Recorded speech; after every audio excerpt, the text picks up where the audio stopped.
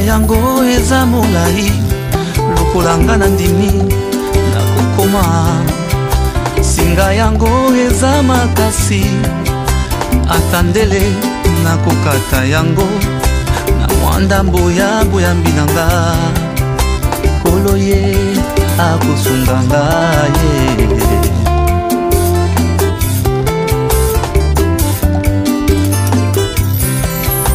nzela yango eza mo lokola nga na ndimi nakokoma singa yango eza makasi ye nakoluka na mipisa mpo na kata yango na mwa ndambo ya boyambi na nga kolo ye akosunga nga ye nga ye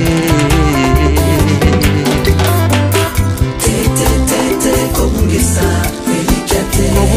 elika te yokolonga kya na nkolo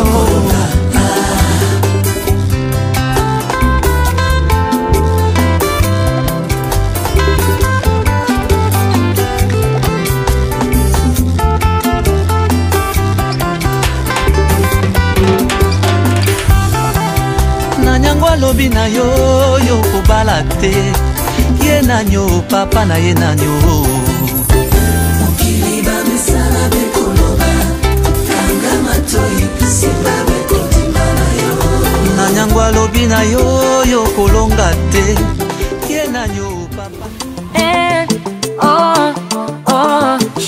papa thank you oluwa nagoteo oh.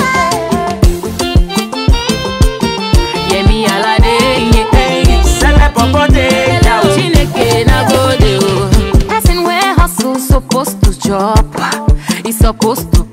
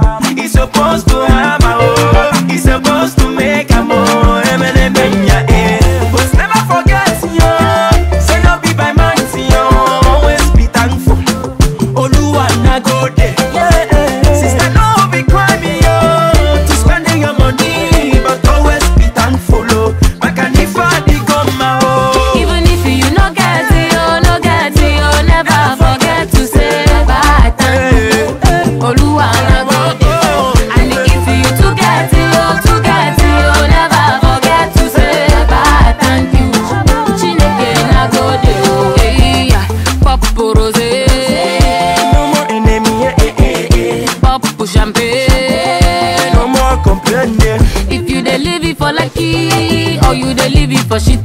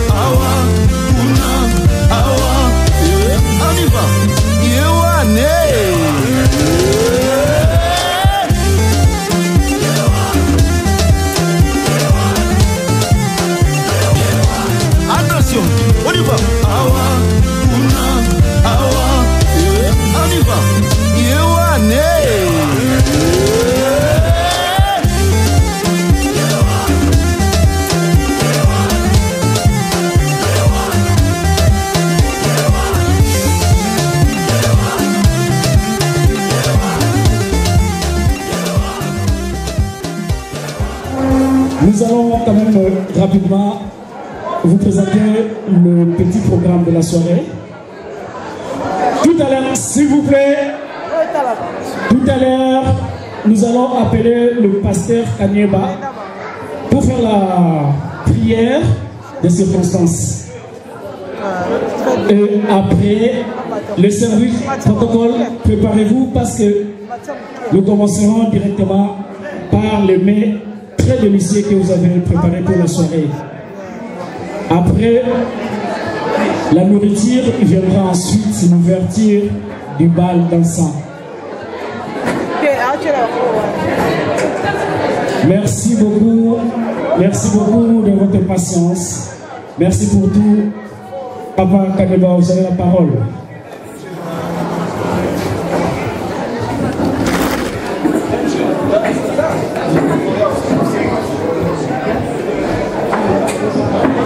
Amen, amen. Amen, amen. Est-ce qu'on est dans la joie Je n'attends presque rien. Est-ce que c'est Moïsali Voilà, voilà, voilà. Est-ce qu'on peut acclamer très fort pour Jésus Très fort, très fort les, nouveaux mariés.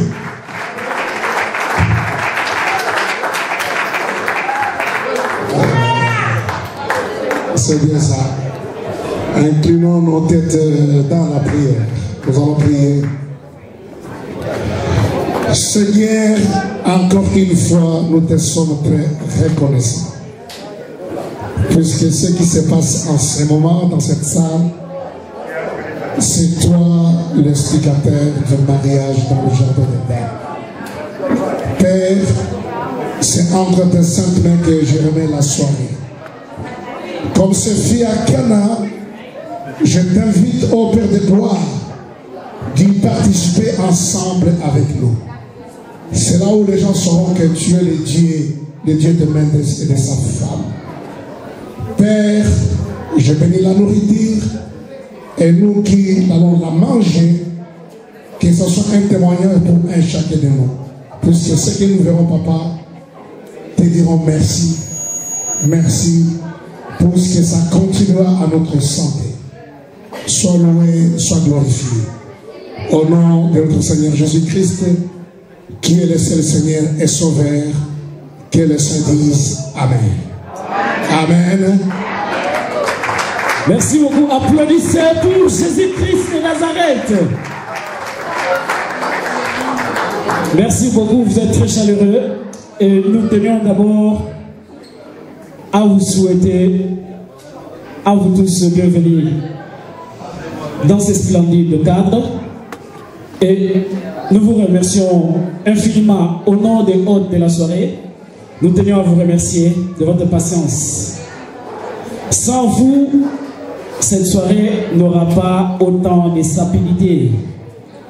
Alors, les services protocoles, selon l'ordre établi, c'est lui qui cherchera qui seront euh, invités pour prendre la nourriture. Donc, ne soyons pas pressés, c'est seul le protocole vient vous chercher.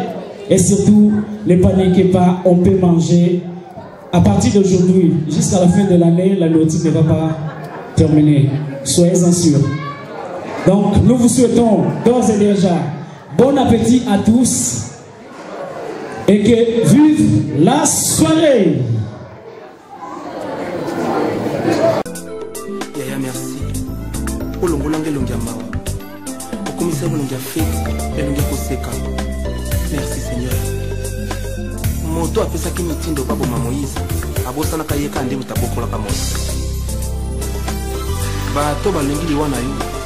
bango kaka nde bakokola mpe bandolenge na yo au nom de jésus osimbelanga makambo elelisaka ngai osimbelanga makambo eswisanga motema olamuselanga makambo elala elala omolelanga oyo basusu balemani oluka osongiselanga nyonso esila kolimwa ye yobomelanga moto banguna bapelisa pelisa pelisa ye oshanga makambo oyo bato balemani ozongiselanga nyonso esila kolimwa ye yobomelanga moto banguna bapelisa pelisa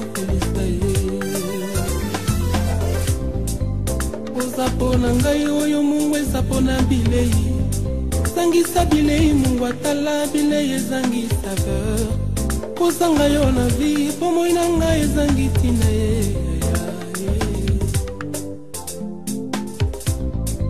yoza mpo na ngai oyo fondation eza mpo na ndako sangisa fondation na ndako mopepe ye ndako ekwei kosanga yo na vi mpo moi na ngai ezangi ntina ye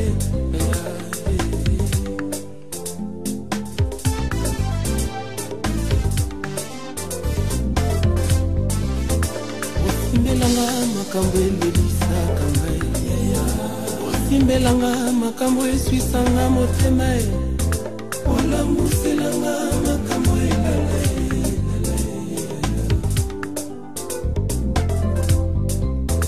omonelanga yo basusu balemba nyoka ozongiselanga nyonso esila kolemwa e yo komelanga moto bambi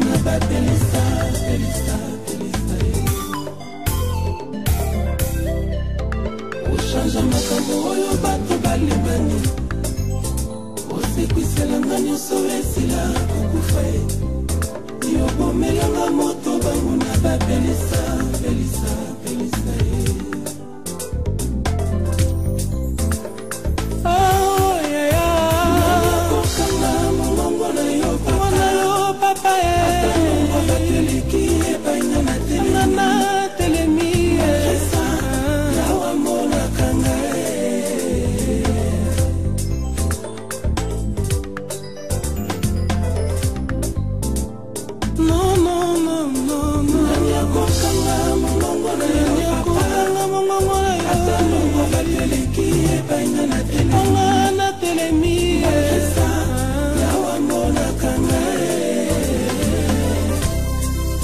okomisanga elongi ya feti oya yebi suka likambo avant yango ebanda mon frère prince mongali nzambe abambola mpona mosala ozali merci oyebi suka likambo uta ebandela likolwangolu na yo papa e oselanga epanasa oyo basusu bazobundela banyokoli basusu papa mpona kosuba topesanga yango e. lokola matabisi mpona saya ya yo olubola elongi ya mawa nakoma elongi ya feti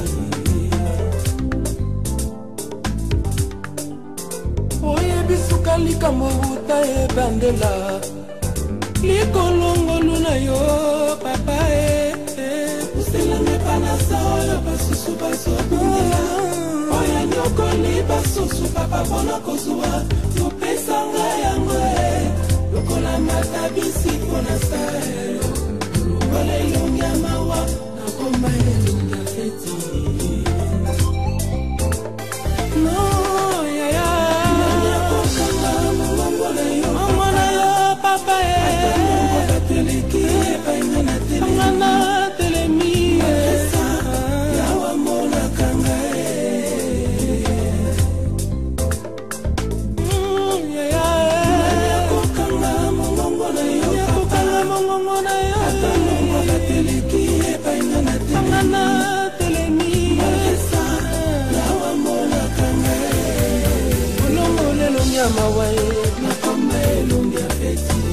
olongo lelongi ya matanga olongo lelongi ya kolela ye okomisanga elongi ya fesi olongo lelongi ya minyoko ye olongo lelongi ya kolela ye olongo lelongi ya matanga ye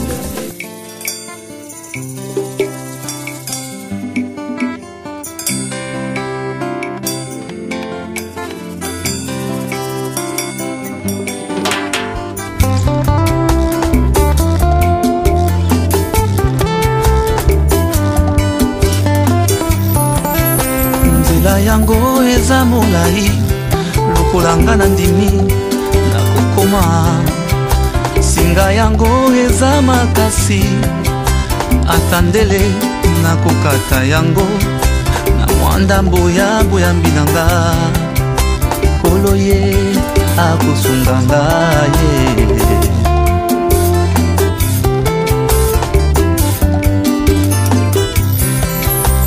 nzela yango eza molai lokola nga na ndimi nakokoma singa yango eza makasi e nakuluka na mipisa mpo na kata yango na mwa ndambo ya boyambi na nga kolo ye akosunga nga ye nga ye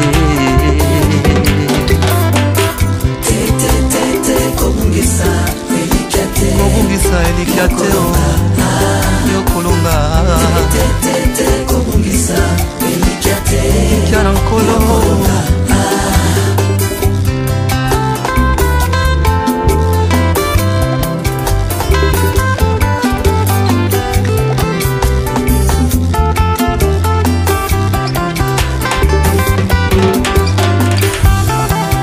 nanyango alobi na yo yokobala te ye nanyo papa na ye nanyo mokili bamesala bekoloba kanga matoi simba bekondima na yo na nyango alobi na yo yo kolonga te ye nanyo papa na ye nanyo mokili bamesala bekoloba kiba koyoka bango te na nyango alobi na yo yo kobota te ye nanyo papa na ye nanyo ah. mwana mama ye bakangelaka mwana bilaka nzela te o oh. yo nanyo papa na yo nanyo mama nikole mwanza simba se elikia tika bato ya mokili baloba po bamesala na bango koloba tika baloba na esika na nzambe kasi mokolo moko mpunda ya balame ya koloba eloba patrice ngoi na paster nelipangi na ntango oza koloba likambo na moto na suka kotya mokoloto te eloba tambulukoki na emikutino na maboko na yo oza na eloko eloba detikizia mina na claudetiditu suka ya bomoi ya moto nzambe nde ayebi yo eloba olangi yosho na jose lokwa na mabondeli nkolo akosala eloba henriete lola na chantal lesi na maboko na yo oza na eloko nyonso ekoloba yo soki otie tembe te nkolo na likolo akoyoka mpe akosala simba elikya na yo ntango na ntango ezali na likambo na yango batela kondima na yo mopepe moko te ekweyisa yo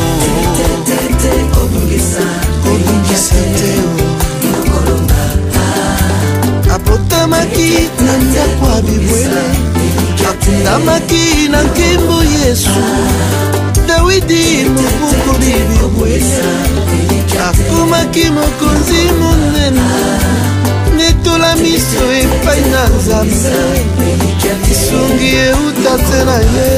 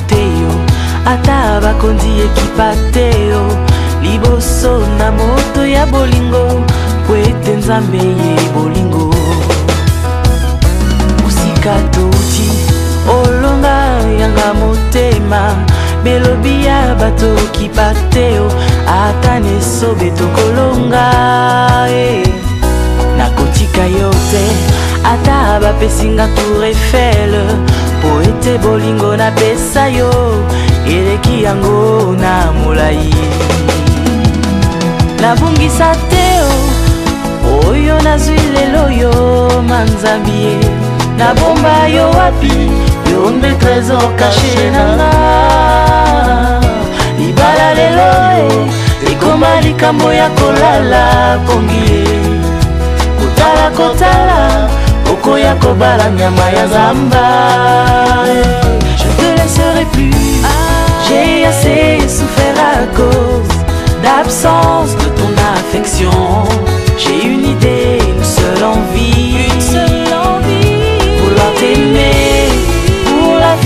Je veux vivre des moments forts, en tout confort, baise mon or.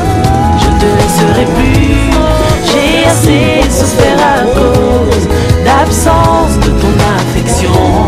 J'ai une idée, une seule envie, pour t'aimer, pour la vie à l'infini. Je veux vivre des moments forts.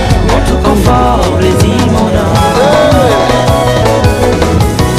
kotia miso pakapaka te lala pongi meko zela ntango ya nzambe noki te okoka kobala ndekendeke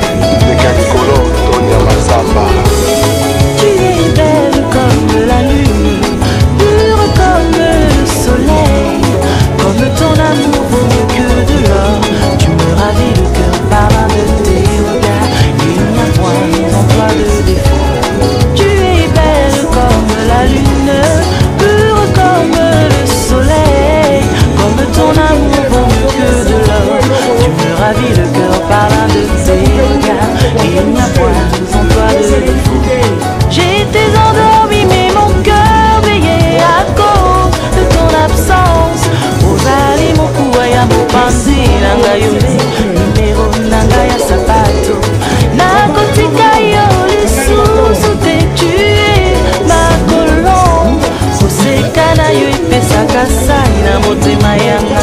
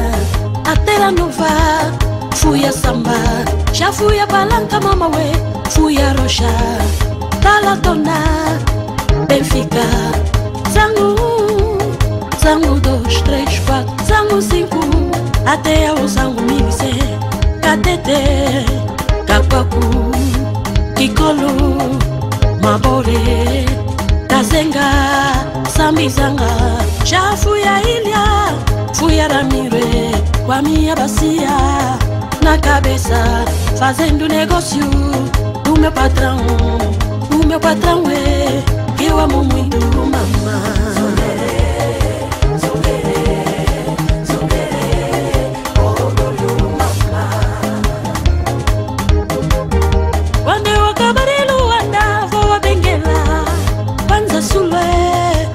ntango te malange biye kabinde ekunene vowambu vowobengu awije moshiku lunda norte lunda sulu banduku bangu banza kongo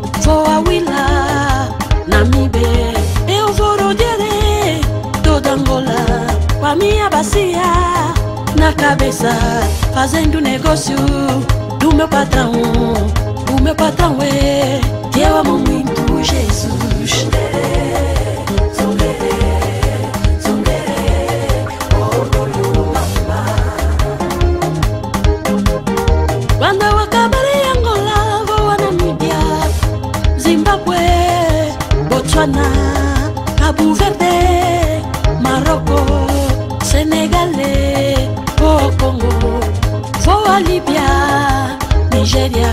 África do Sul, vou a Zâmbia, Guiné-Bissau, Centro-África, Côte d'Ivoire, Moçambique, Paninha Bacia, na cabeça, fazendo negócio, mamauê, do meu patrão, é, o meu patrão, é, eu amo muito, o meu patrão, mamauê.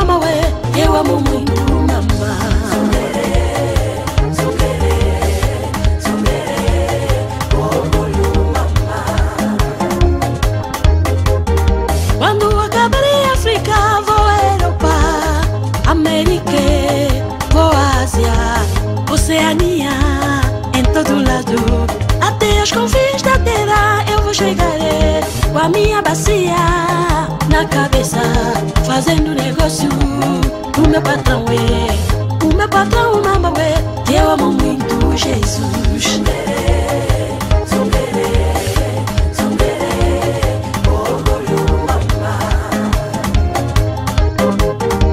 Na minha bacia Não peixe Na minha bacia mamãe, é Não levo carne Na minha bacia da zunga Não levo frango a minha bacia anda cheia da palavra a minha bacia anda cheia do evangelho. E a minha bacia anda cheia.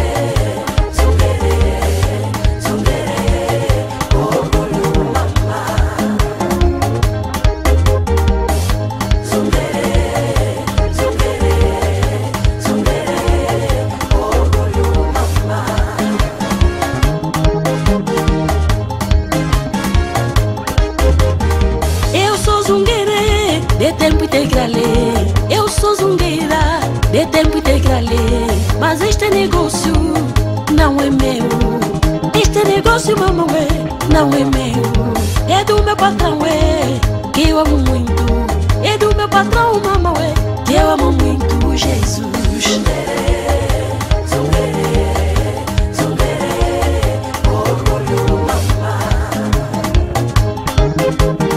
Já fui a Moçalé, fui a Mutamba A Nova, fui a Samba Já fui a Balanca, mamãe Fui a Rocha Balatona, Benfica, Zango Zango dois, três, quatro, Zango cinco, até ao Zango Mimise, Catete, Capacu, Kikolo, Mabore, Kazenga Sambizanga, já fui à ilha, fui a Ramire, com a minha bacia na cabeça, fazendo negócio do meu patrão patrão é, eu amo muito mamãe.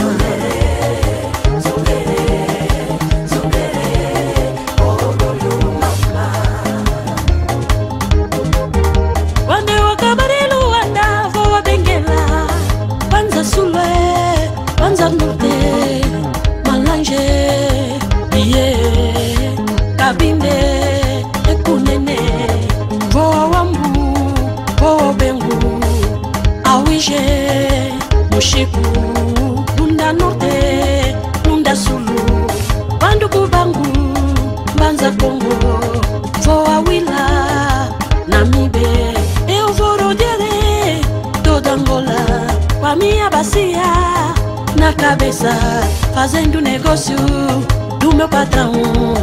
O meu patrão é que eu amo muito Jesus.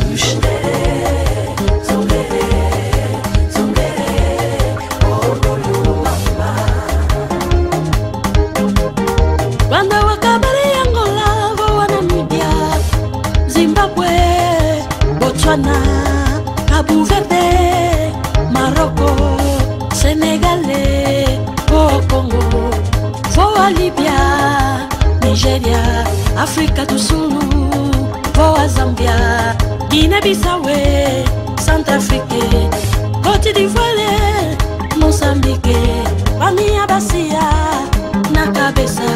Fazendo negócio, mamawe, do meu patrão, o meu patrão.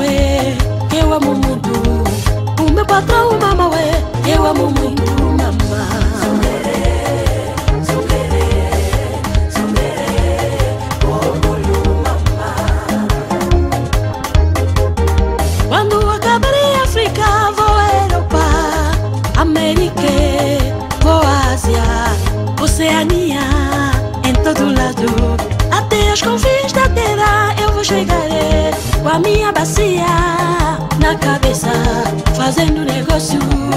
O meu patrão é, o meu patrão não é, que eu amo muito Jesus.